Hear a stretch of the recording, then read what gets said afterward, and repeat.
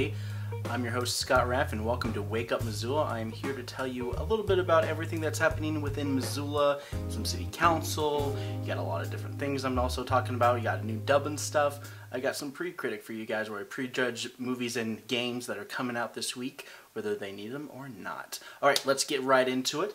Big news, big lot of things that are happening. The U.S. Department of Justice is suing Google. Google has gotten too big. It's considered big tech, and now it's up to the DOJ to break up that monopoly. And that's kind of what the, the deal is. Let's dive into it a little bit more. The Silicon Valley-based company has been a forefront of internet browsing and searches, but recently, with user information and searches being generated through personal data, has become a major source of information bias and corporate oversight. And with the election coming up, has become one of the many platforms that many political figures claim is rigging the election. Uh, the U.S. wants to rein in Google and break up what has been the main source for searches on the internet, a monopoly of information, um, as you will. Uh, big tech has become synonymous with big oil, big tobacco, and many other too big to fail corporations. One argument for Google can plainly see that Microsoft, Firefox, and Safari are among those browsers that use Google, with some exception of Bing, which is run through Microsoft. So Bing is also another search engine, but it's not it's quite as big as Google, but Google is basically the one that's being made the example of part of having this lawsuit isn't the end of Google, but it's not necessarily even breaking up Google, but it's the uh, the freedom of information kind of deal. And I think it's going to be part of. Um, they're not suing for money. The Department of Justice doesn't sue for money, but they gather a bunch of uh, uh, states, 11 states are kind of joining forces to be part of this kind of major lawsuit to kind of uh, fix what they think is wrong with the Google system, kind of deep dive into it a little bit more, and kind of have a better understanding, and most of all, create some regulations when it comes to your internet searches. So Congress has interviewed social media outlets like Facebook, uh, Mark Zuckerberg, to explain the 2016 election and how uh, paying for Facebook ads from outside sources may have swayed the election that year. Not sure. There's just a lot of uh, hearsay in terms of that. Uh, lawsuits are not necessarily about money and assets, um, but they're just diving deeper into the tech giant. Of course, Big Tobacco is also dealing with their own issues when it comes to flavor bans, and Missoula is one of those uh, communities that have been uh, given the state right to uh, enforce certain bans and restrictions on tobacco products and stuff like that. And one of them was um, flavored tobacco and uh, part of this is vaping products um, in terms of just like flavored tobacco and flavored vaping. Um, so there, uh, Missoula is targeting that. I'll talk a little bit more about it during City Council. I have a lot to say about it, and people also have a lot to say in it in a couple quotes that I've already uh, gathered for you guys. So I'll talk a little bit more about that later in the show. But the most important takeaway from it is, is that the city will finally decide on Monday on whether or not to uh, put a flavor ban ordinance within the city of Missoula. All right. Let's see here here's some Montana news. Yellowstone County uh, has reported in 35,000 mail-in ballots have been um, basically delivered to the Yellowstone County Elections Office. Currently, there are 85,000 registered voters in Yellowstone County alone, and so that's a big chunk of their uh, folks who are doing this. Um, Yellowstone County also is moving towards mail-in only ballot with some exceptions. Um, there's, you know, even in Missoula, there is uh, the elections office off of um, Russell, so I know a little bit more about the elections and the administrator of elections, uh, Bradley Seaman, who is the uh, administrator for Missoula County elections, and he's the one kind of overseeing everything. And he rest assured that everything is going to go very smoothly in Missoula County, especially. Um, uh, he did another talk. Uh, he did a talk earlier with uh, another person who's done um, um, counting ballots and you guys can check that out through uh, Fort Missoula and MCAT. We did a, a, shoot a couple weeks ago. It's called Montana Votes Part 2, uh, Voting 101. You can probably look this up on MCAT's YouTube page, uh, Fort Missoula, Historic Museum at Fort Missoula's YouTube page. You can go to uh, Fort Missoula's uh, Historic Museum, uh, fortmissoula.org to find these links and more. And of course, it's Aaron on MCAT and all that stuff. Um, of course, you already know that most of the mail-in had to do with COVID, but Montana has done ballots since the 90s and in Missoula. And of course, I can attest um, that I asked some questions to Bradley Seaman a little bit more about this, and he explained to it that uh, when it comes to uh, you know double voting, so you get more than one ballot, they check your signature, but most of all, they check your name and your address, and rather than you know like you do a mail-in ballot but then you go in there and you go try to vote again the quintessential fraud vote uh, that many people are worried about um, he said that, he does make sure that they check it and they have county records to reassure that so when they do that but if there's any problems they usually have somebody look at it but then somebody look at the person who's looking at it to make sure there's no funny business going on. So that's kind of what the city of Missoula is going to be doing. Uh, they're keeping the ballots still sealed until uh, Monday, the day before the election, and then they're going to start counting and going from there. But you have until uh, Tuesday, November 3rd uh, at 8 p.m. to turn in your ballot. But of course, if you're in line and you're clearly going to uh, vote, 8:05 is okay as long as you're in, there by 8 o'clock. But that's that's the news. But anyways, um, uh, programs. We got some new programs and some old programs that are going to be airing on MCAT. So enjoy, check them out, and then when I come back, pre-critic.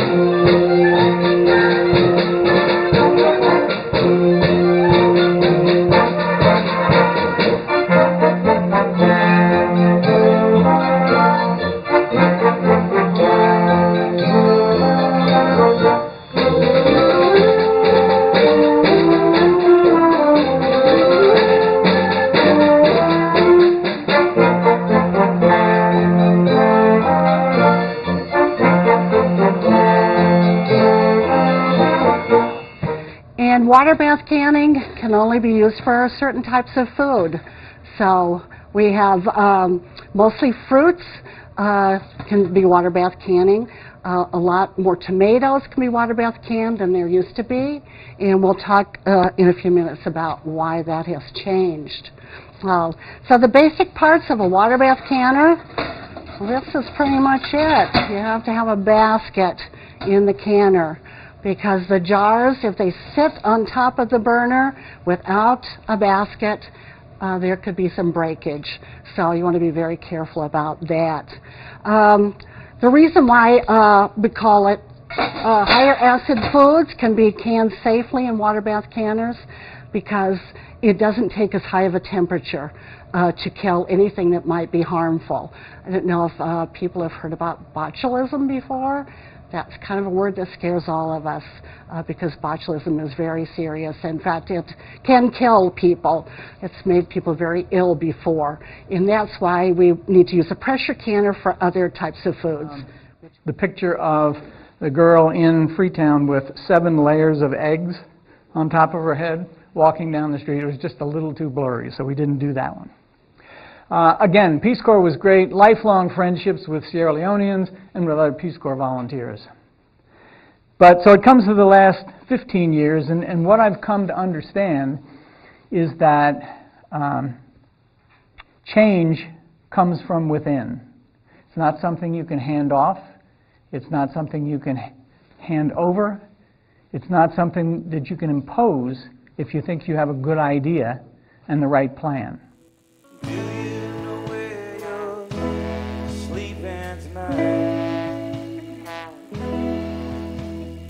sing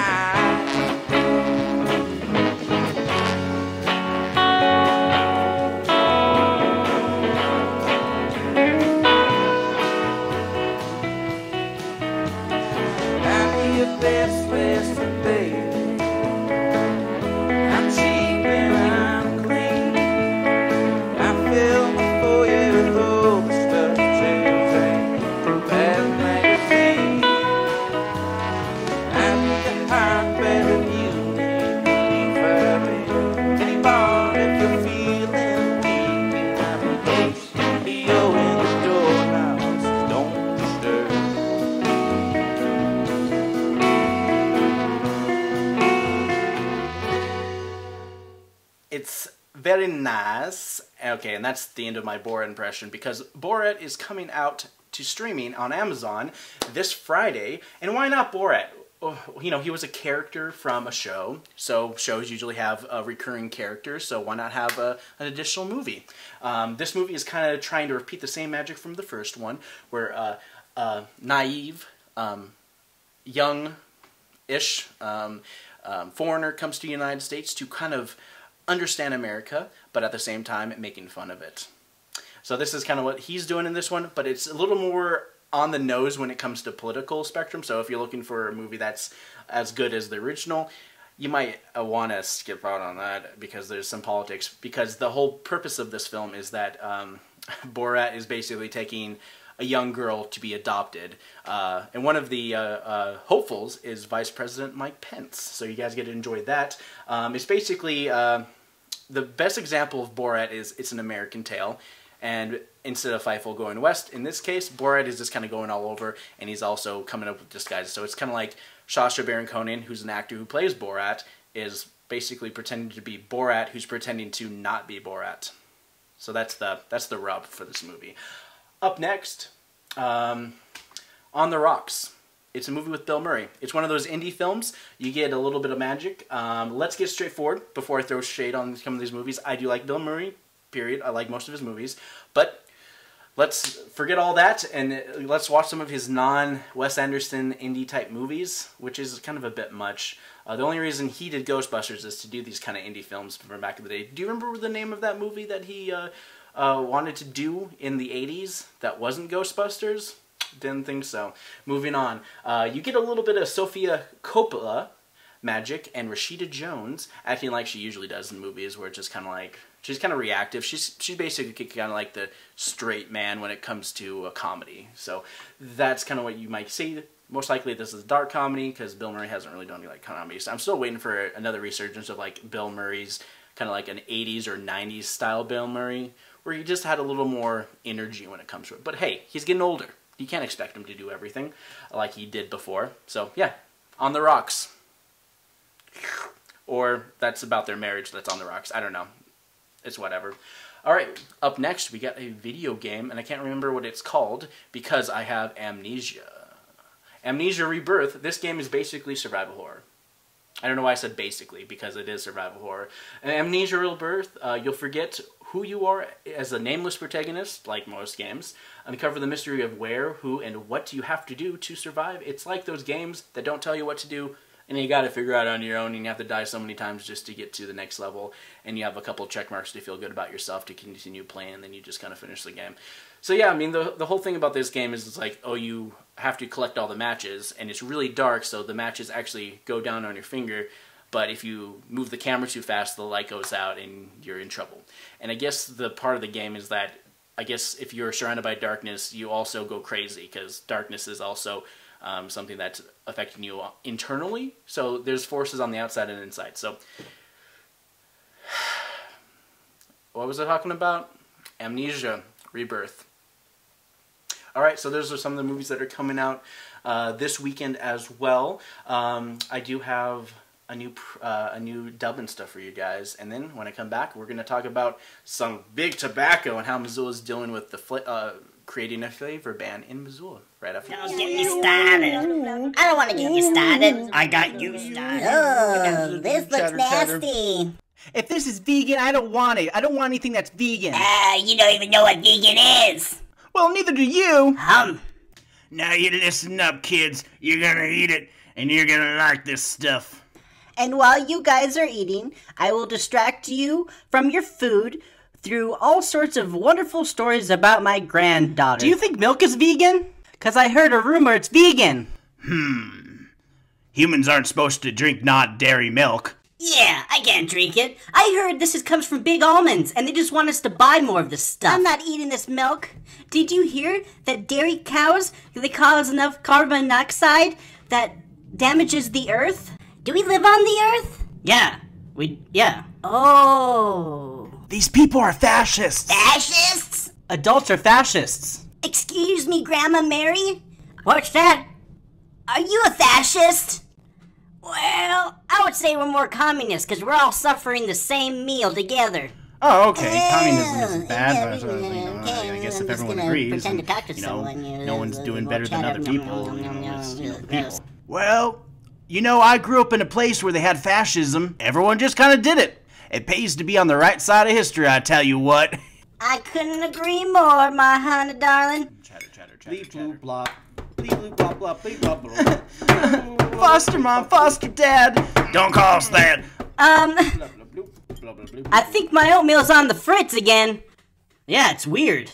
Mine's just shaped with a bowl. Hmm. Well, I'm hungry enough to eat anything. I lost another tooth.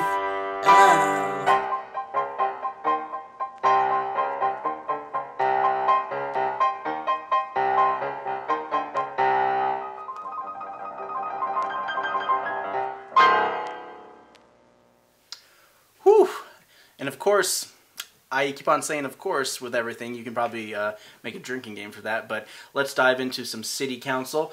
Five hours uh, they spent on a lot of things that are happening. They had some annexations. I'm going to kind of gloss over that. There's no need to kind of jump into that. Uh, there were demonstrations um, over the weekend. People holding signs, uh, worried about voter suppression as we get closer and closer to the election.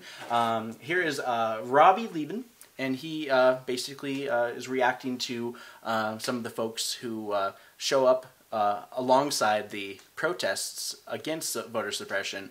Um, I guess for voter suppression. I don't know. It's it's it's it's kind of interesting how uh, when there's protesters, they're doing one thing, then there's the other protesters. They're kind of thinking that they're protecting citizens or whatever. I don't know. I, I already kind of showed you what side I'm on, but let's dive into it. Um, I'm very concerned about uh, armed vigilantes or militia, whatever we want to call them, uh, either coming to intimidate voters during uh, during the elections or to intimidate or coming to delec- to demonstrations afterwards. It seems like there's very possibly going to be a close election this year, and very possibly demonstrations for either candidate, either presidential candidate, and probably the others around town. And I'm concerned about armed people showing up to intimidate them. And I attended a number of the Black Lives Matter demonstrations in in June, and I just wanted to say that that I saw, you know, members, armed armed white people, armed vigilantes walking around with assault rifles with their fingers a fraction of an inch from the trigger. And I have friends who decided that they could not come to these demonstrations, even though they wanted to, because they were scared. People of color were scared. And the result of that is that some of the organizers, some of the black organizers later on started showing up with sidearms as well because they felt they needed to protect themselves. Um, during one of the demonstrations, um, the organizers decided they needed to move the demonstration to the University of Montana campus because it was a gun-free zone. They did not feel safe in front of the county courthouse. And I, I would say that, you know, we are an open carry state, but we have very clear, um, very clear um, statutes against intimidation. And I would urge you to enforce those statutes both during the election and during any um, any demonstrations that follow. Thank you. Thank you very much. The nice thing about living in Missoula is, as I've been talking to a lot of election officials and everything like that, mail-in ballots, you really can't suppress too much when it comes to mail-in ballots. Um, so there, there's a there has to be a lot to do with that. But there's uh, if you are very concerned about you know voting or anything like that, you can always go to your voter page, which is done through the County of Missoula. So make sure you go to myvoterpage.org and uh, make sure it's through the Missoula because then you know you're on the record. All you need to do is have your first and last name and your date of birth, and it'll tell you your address and your current status, whether or not you're absentee or not. You might be able to get an absentee, uh, a mail-in ballot um, coming up soon, but if you don't, you can always go to the um, elections off office off Russell. They have parking for people who just show up to get registered to vote. Um, but they, you know, like always, they always have day of voting registration. So that's that. All right, so um, let's see. Uh, John Engen uh, responds to uh, uh, some of the concerns about voting suppression, and this is what John Engen had to say. Um, I have had a conversation with Missoula County Commissioners and election off in the Missoula County Elections Office um, with regard to any support that they might need uh, on election day. Um, and so we stand ready to assist uh, the planning around that actually belongs to Missoula County, uh, and the elections office is the lead agency there. Um, with regard to plans for uh, other civil disturbance, we have a variety of emergency plans that are in place, and depending on nature of disturbance, um, we will certainly respond according to policy. Uh, the county covers elections and sort. You know, the city, you know, they don't have to really they don't do too much it's mostly falls along the county and the county controls what happens with election and the city just kind of sits back and just kind of lets the election happen uh, to learn more about voting like always uh, I, I, already mentioned the video with uh, bradley seaman the uh, administrator for Missoula County elections. He did a, a, uh, video with MCAT and Fort Missoula to talk about voting 101. So you guys can enjoy that on YouTube. I'm just plugging this video. It's a there's a lot of questions that were asked, and it's a really great program to talk more about mail-in ballots and some voter suppression, but it's mostly about the clarity when it comes to Missoula County's elections. Um, mail-in ballots should be out now. Um, you should be able to uh, get your ballots in um, off Russell Avenue. There's a basically a drive-through drop-off. Uh, people will just take your ballots. You don't even have to put it in the mail, so that's nice. You just drop it over at the elections office off Russell. Moving on now to the fun part. The Missoula proposed ordinance to uh, ban um, uh, cigarettes, flavored cigars, and smokeless tobacco uh, as proposed, the ordinance would make it a violation to display and sell flavored tobacco at retail shops within the city, along with five, along with locations five miles outside the city limits. Um, as it is a public hearing during COVID, uh, spoiler alert, um, they will not finalize this, this, decision until Monday. So you guys have until like through the weekend after you're watching the show, or maybe you already know that. Uh, but with public hearings, they usually uh, have some time for people to give some feedback and whatnot. Without getting too much into it, um, honestly, the jobs that would be affected are the folks who solely distribute the vape juice. Uh, like vape juice stores and whatnot, but the largest argument on preventing the use among children who, whether you agree it or not, uh, a lot of the vaping products and the um, flavored tobacco and all that stuff uh, indirectly um, um, targets children to become smokers because a lot of times nobody really smokes something that tastes disgusting. But if you have something that tastes good, people are going to smoke it. And um, vaping has been linked to a, a, a much uh, faster dose when it comes to uh, getting tobacco into your system. So it's it can be pretty bad. Oh, nicotine. Sorry, I didn't mean to say tobacco. I meant to say nicotine. Okay. Okay, so here we go on. Um, Arlene Wayland from um, Missoula City County Health Department gave the presentation for Missoula, and this is what she had to start off with. Tobacco product use is the leading cause of preventable death and disease in the United States. The tobacco industry needs to recruit replacement users for the thousands of people who die each year from tobacco related diseases. One of the primary ways that tobacco and vape industries have attracted new users is by selling sweet, fruit, and candy flavored products. Flavors improve the taste and reduce, reduce the harshness of tobacco products, making them more appealing and easier for young people to use and you're really just deep frying vegetables. They taste better, but are worse for you because they're deep fried. Uh, there are too many studies that show tobacco products are linked to cancer, so don't argue against that. Uh, part of many retailers and stores have said that they do not sell to underage kids, and Arlene says that some stores embrace flavored tobacco products on their shelves, and this is what she had to say. These points of sale strategies increase impulse purchases and normalize the presence of tobacco products in everyday life. Tobacco companies now spend most of their advertising and promotional dollars at the point of sale, making tobacco products more appealing to children, and they also trigger impulse purchases by addicted users seeking to quit.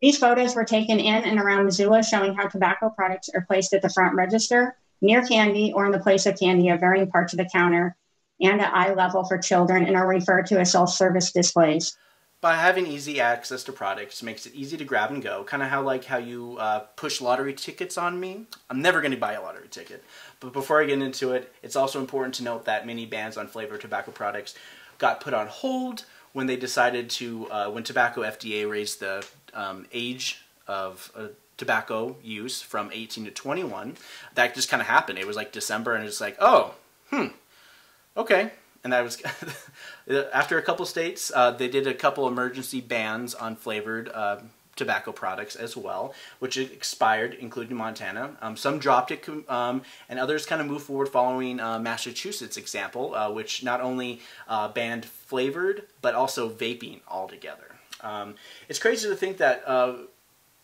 um, also, many folks believe that vaping was safer than cigarettes. It wasn't. Uh, Meredith Berkman spoke on her experience with one of those vaping companies. This is what she had to say. The catalyst was our discovery in April 2018 that a Juul rep had entered our son's high school through an outside anti addiction group and, without the school's knowledge and without any other teachers present, told the ninth grade students that Juul was totally safe and would receive FDA approval any day. Our congressional testimony and that of our sons about this really disturbing incident uh, in July 2019 has been cited by FDA as evidence that Juul marketed directly to minors.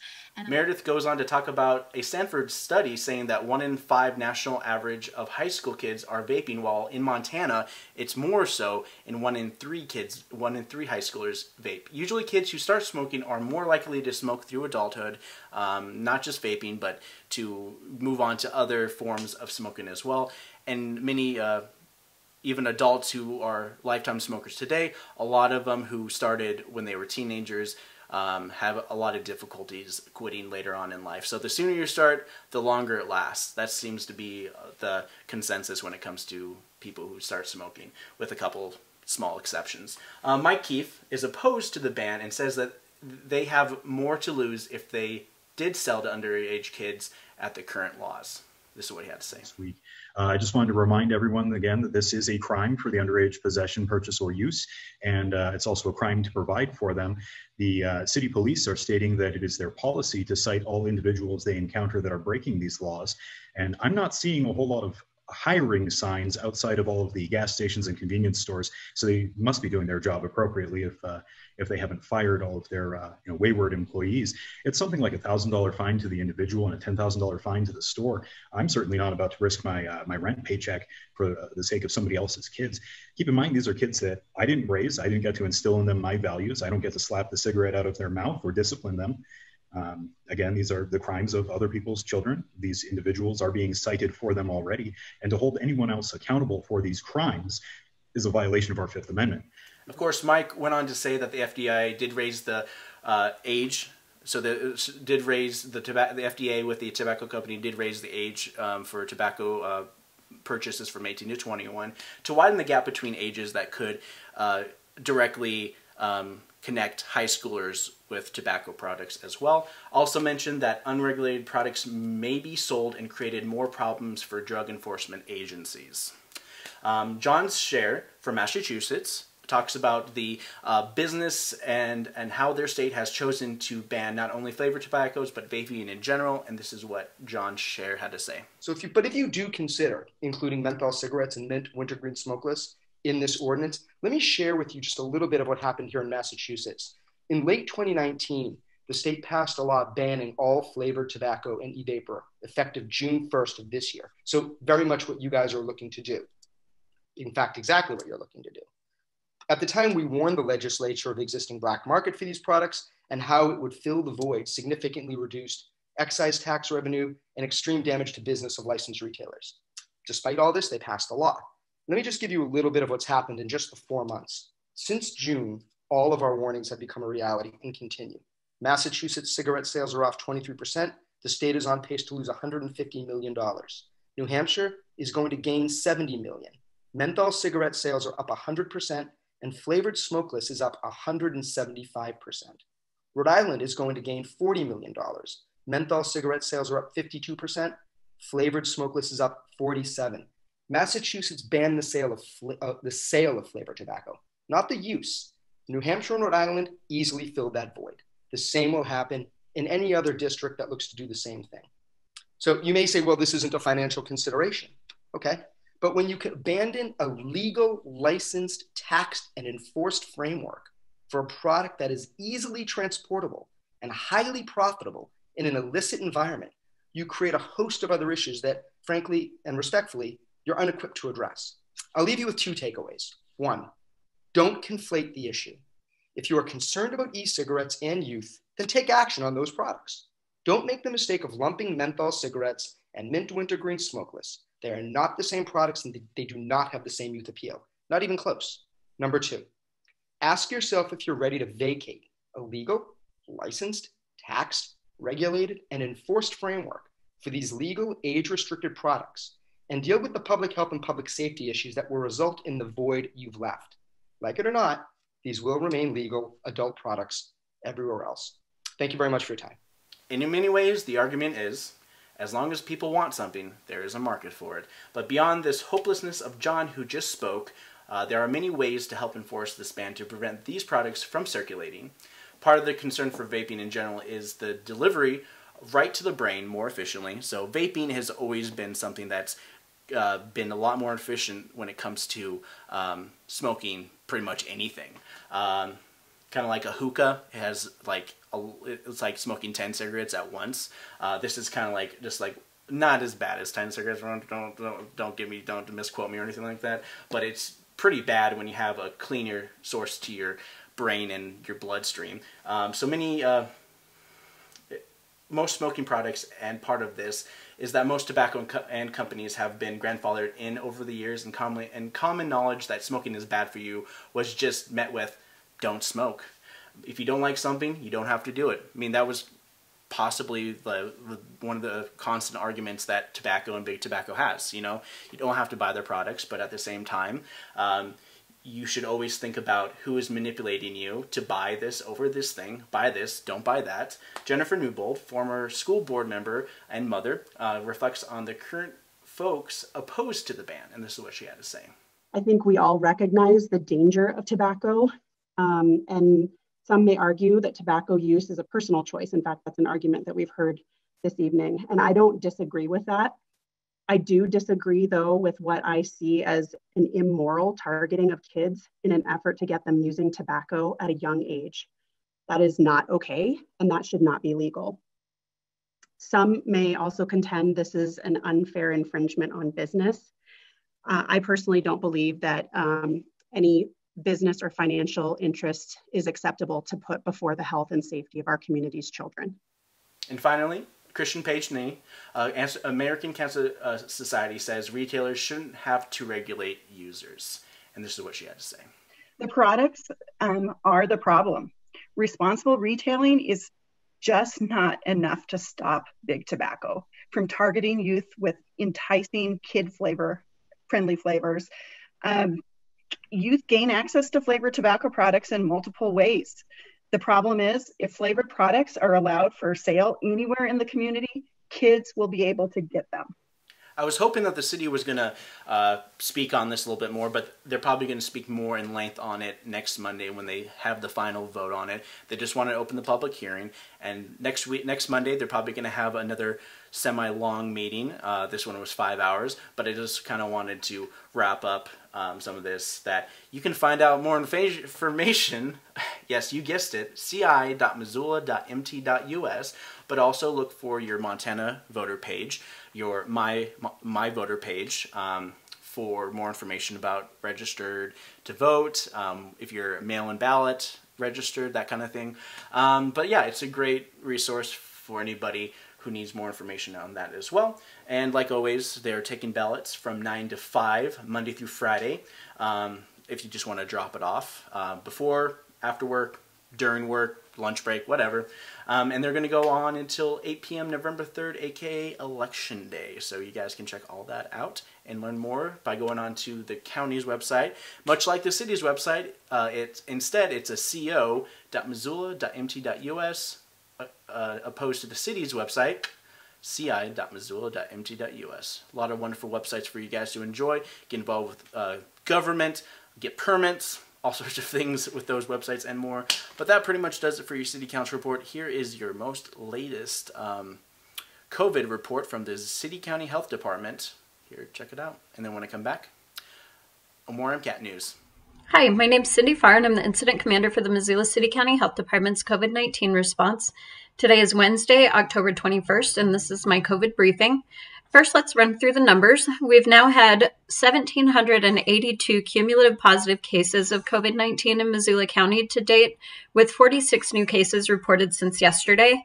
We've had 1,195 recoveries, In the past week, the number of Missoula County residents who have died from COVID related complications has nearly doubled. Last week, we had had five deaths, and as of today, we have now had nine. Our condolences go out to the family, friends, and loved ones of those that we have lost. Missoula, 12 Missoula County residents and 11 non county residents are currently hospitalized in Missoula County. We now have 579 active COVID 19 cases, and we have currently identified over 1,550 close contacts. Those active cases and their close contacts remain in isolation and quarantine, and they're being supported as needed. Just a reminder that all of these numbers, as well as the graphs and figures um, associated, are on our website at missoulainfo.com. You can also find some more detailed information, such as um, age ranges, and you can see the charts of, of how our cases have changed over time. The state of Montana is now reporting 24,712 COVID cases, which is up 624 new cases from yesterday. There are now 9,352 active cases with 345 active hospitalizations across the state. And there have been 275 deaths related to COVID 19 statewide. According to Harvard Global Health, Montana is now ranked as the third highest state in the country for COVID COVID 19 risk. This is based on the average number of people who have become infected with COVID 19 per 100,000 people. The University of Montana has had 272 cumulative UM associated cases since the beginning of fall semester, which is up two since yesterday. There are currently 53 active cases associated with the University of Montana. We've seen a really good decline in the number of cases associated with the University of Montana in the last week. So I'd like to talk a little bit about case investigation and contact tracing. After the surge in cases that we've been getting for the last couple of weeks and that we are continuing to get, we're working as quickly as possible to get more staff hired to do case investigation and contact tracing. In addition, um, health department internal staff did some additional training last week, and we had an additional dozen people add in extra hours and in some cases get pulled from their regular duties to help get through our, some of our case investigation. We're continuing that approach this week, offering health department staff that haven't already been involved in the response the effort to um, take a similar training and help with contact tracing. The decision to do this was data informed and supported by leadership. We have a sense of duty when when needed, and it's all hands on deck. Um, our staff has stepped up, and they continue stepping up to help provide us with that additional support. We know that this training and this approach is just a stopgap measure that will help us um, push through the existing delayed notifications. We are doing this while also simultaneously expanding our staffing capacity. While we are getting caught up on contact tracing, I want to share some tips for possible close contacts. If a friend or family member lets you know that they have officially have COVID and they're letting you know in case you may have been a close contact, consider what a close contact is. Were you within six feet for, or less for 15 minutes or more? And remember that that time is cumulative. So if you were close together for five minutes on three separate occasions, you would still be a close contact. Also, keep in mind that someone is contagious for two days before they develop symptoms. You also want to consider the place that you spent time with someone. Um, space six feet apart outdoors in a park is less of a risk than sharing close quarters in a home or office space and being within that six feet. Since we are delayed, we encourage you that if you think you are a close contact based on a heads up from a friend, a coworker, or a family member, that you stay home and start monitor- monitoring yourself for symptoms while our staff while you wait for our staff to notify you. There are steps that you can take to reduce unnecessary opportunities for COVID exposure and transmission. So next I want to talk about inspections and closures. Inspections are routine standard practice at all times in public health, whether it's verifying that foods are stored at appropriate temperatures in restaurants or if sanitizing is happening in bars or verifying that businesses are following the plans that they submit to us for things like like wells and septic systems. So why are we increasing our inspections now? This was a data informed decision to increase inspections to help mitigate the opportunities for COVID exposure and transmission in places where people gather or congregate, like licensed establishments, including bars, restaurants, and other places.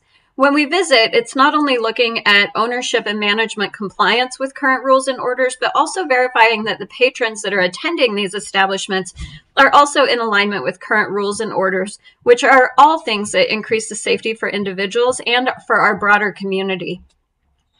Our staff are there to help. They're there to help business owners understand what the current rules and requirements and expectations are, as well as how to comply with those across different settings, because things will look different in bars, restaurants, retail stores, and box stores. While we accept and track public comment about compliance and complaints about noncompliance, that is not the only factor driving our inspections. Um, our environmental health staff routinely engage in conversations with licensed establishments and businesses, many of which they've had long-standing, good working relationships with. If and when an inspection does occur, our health department staff are there representing public health and ensuring that public safety is a priority in each establishment. They make observations and they take notes. They discuss options and ideas with owners that might be struggling with compliance in their unique settings. And order to close is an absolute last resort. Our staff really strive to find compliant, creative solutions with business owners upstream. Sometimes a conversation is not enough, and the staff may need to inform an organization of specific criteria that they must address by a certain date in order to be in compliance. But there are basically many, many different steps that occur before an official order um, occurs. So these inspections do occur at big box stores, chain stores, local businesses alike. Please take a look at our website at missoulainfo.com for guidance documents for businesses and organizations, as well as guidance from the CDC. We've also recently revised the document What to Expect If and When a Staff Member or Employee Tests Positive for COVID 19, so you can also find that on our website. The other thing that I just want to remind people about is that in the times of COVID, it's really important to reframe your activities. For instance, going to a bar isn't going to a bar for a dance party or a live music event where people will be shoulder to shoulder Going to a bar now is for accessing the goods and services that they provide. Perhaps you need a change of scenery from your home or you just want to support a local business. But it isn't the same, and we really need to try to shift our thinking around that. Our goal at, in public health is to help these businesses stay open and remain open. This means that owners need to create and implement compliant safety measures and that everyone as patrons really need to abide by those local rules and orders in those establishments. Some of the things that we've seen during site visits um, that we just want to remind people of is that face coverings are required when you're not seated at a table. If you're standing, waiting to be seated, going to the restroom, you must wear the face covering.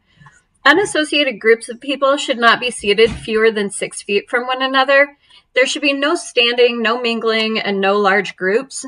Staff can and should continue enhance safety in the back of the house with their colleagues, keeping the face covering on, washing your hands, all of those preventative measures.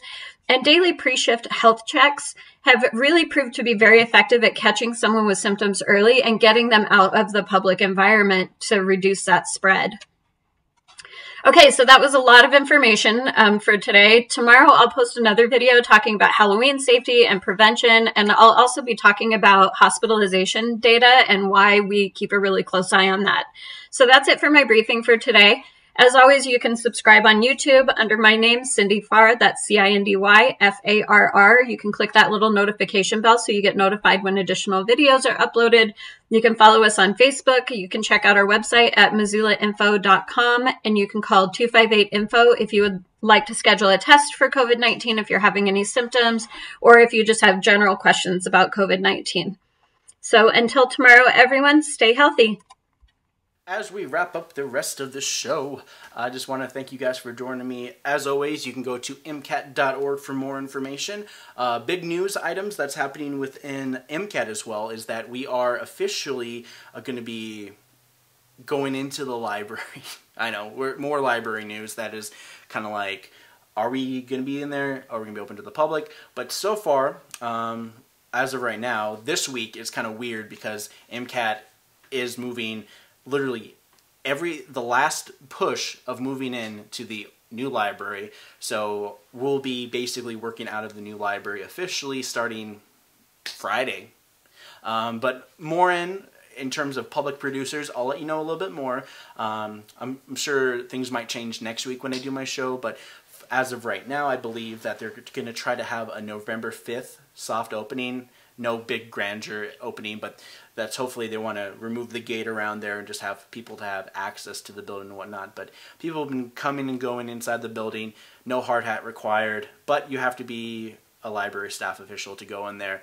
But allegedly, um, uh, don't necessarily quote me on this. Don't just show up at the library on this day. Just double check. Uh, November 5th, um, and subsequently Monday through Saturday from 1 to 5 p.m.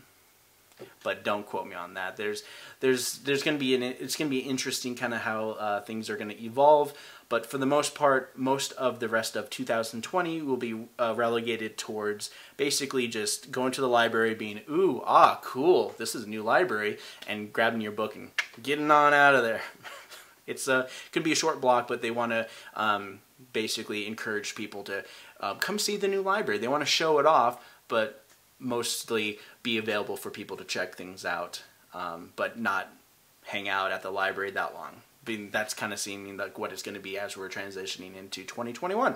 All right, so that's pretty much everything that I know. There's still a lot of information going out there, but I just want you guys to know um, as soon as I know 100% certainty when we'll open, I will tell you. But for right now, it's a it's a big maybe on November 5th. So, anyways, thank you guys for joining me. Um, this will not broadcast actually on the MCAT channel this week uh, because we're actually turning off our whole entire system um, on Thursday. Um, and then we'll hopefully be able to turn back on on, uh, on Friday ish or some kind of like yeah it's, it's gonna be an interesting um, setup when we move over there but all I know is that Friday is the, gonna be our final push to go into the new library. Stay out of our way. Anyways thanks for joining me and for Wake Up Missoula I'm Scott Ranf take care guys